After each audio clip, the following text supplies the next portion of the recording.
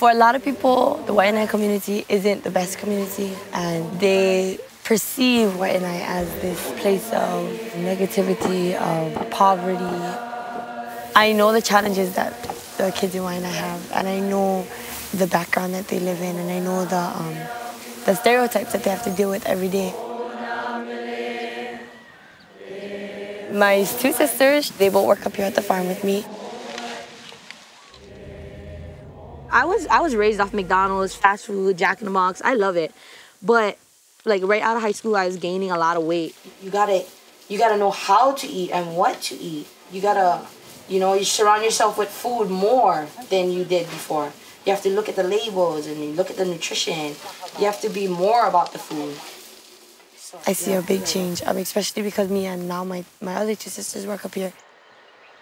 This job I have, they paid me to go to school and they pay me. They invested in me. That's empowerment right there. I like to relate us to like plants because we're farmers.